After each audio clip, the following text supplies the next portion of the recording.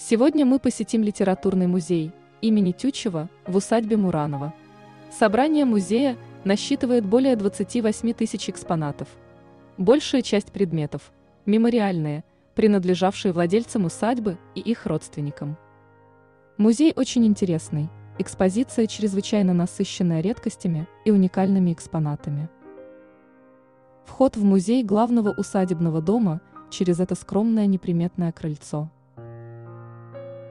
Длинный коридор делил пристройку на южную и северную половину.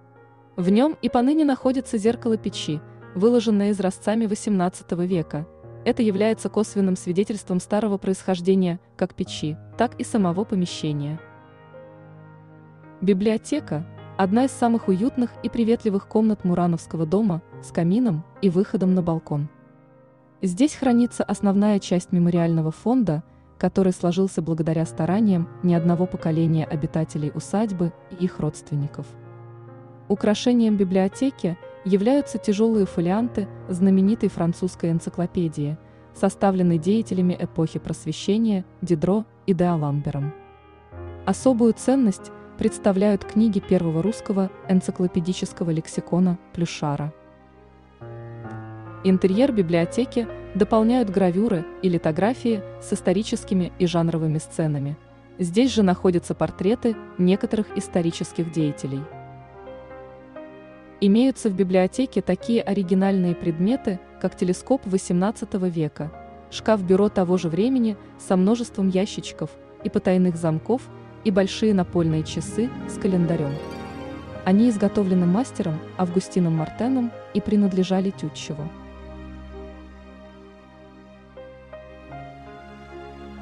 Кабинет Николая Ивановича Тютчева. В 1906 году в Мураново было доставлено значительное количество вещей, книг, предметов изобразительного и декоративно-прикладного искусства из имения Варварина Юрьев Польского уезда Владимирской губернии.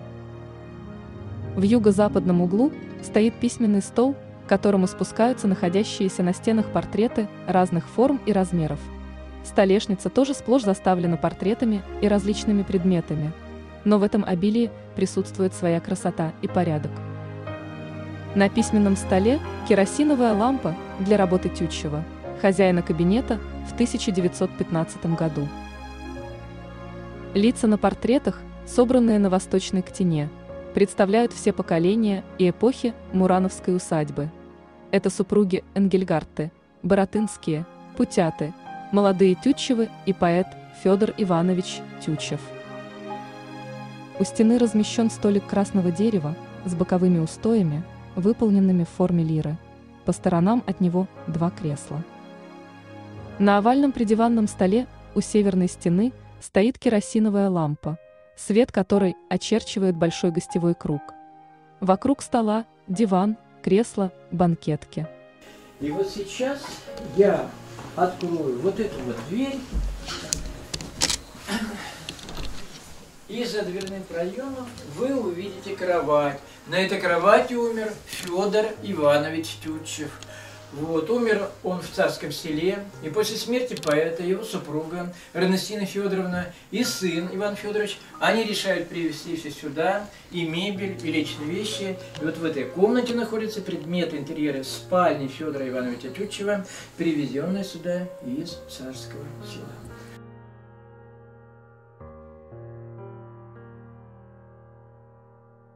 Столовая. Комната, прямоугольная в плане, с двумя окнами на юг, двумя симметрично расположенными высокими двустворчатыми дверями, находится в середине южной анфилады Мурановского дома. Ей предшествуют прихожая и южная часть большой гостиной, за ней находится библиотека и терраса зимнего сада. Ниша с двумя наивными домашними колоннами маскирует две двери. Ранее одна вела на второй этаж, в детские и гостевые комнаты, другая – в коридор и далее в буфетную. Посереди комнаты стоит стол-сороконожка сороковых годов XIX века. Вокруг него и около стен размещены стулья красного дерева Павловской эпохи, прекрасные по своим пропорциям и простоте рисунка. Столовую усадебного дома украшают портреты, гравюры, старинная люстра, буфет с богатой резьбой и супница на поддоне в знак обеденного ритуала и благосостояния, сервиз редкого бирюзового крытья. Большая гостиная, комната восьмиугольная в плане, расположена поперек главной оси дома. На северной и южной сторонах эркеры с застекленными донизу дверями. Пространство комнаты разделено на три части печами, которые соединены между собой арками. Около дивана деревянный золоченный стол с доской из черного мрамора с видами Рима итальянской мозаичной работы начала XIX века. У стены, прямо напротив камина, находится короткий и глубокий диван, именуемый по-французски крапа. Он обшит полосами малинового бархата и вышивками шерстью по конве работы второй жены поэта Тютчева. На восточной стене, над диваном, помещен самый старый портрет собрания. Неизвестный художник, 1740-е годы, Кудрявцева, участника Полтавской битвы. Согласно семейному преданию, Петр Великий наградил его за храбрость оружием с клинком из дамасской стали. Ниже – большой постельный портрет семейства Энгельгартов. Он был написан художником Барду в знаменательный для этой семьи 1816 год, когда ими было приобретено Муранова. При постройке дома угловая комната по северному фасаду первого этажа предназначалась для спальни Боротынской. Потом, в течение нескольких десятилетий, она служила спальней Путите.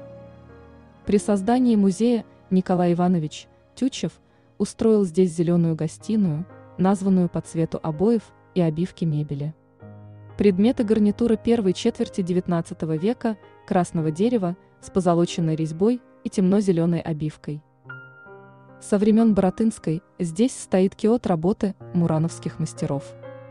В нем находятся образы Богородицы начала XVIII века, Казанское и Знамение.